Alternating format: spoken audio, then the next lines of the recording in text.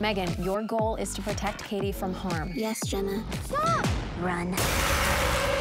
She's part of the family. Did you make him do something bad? It's insane, right? What are you?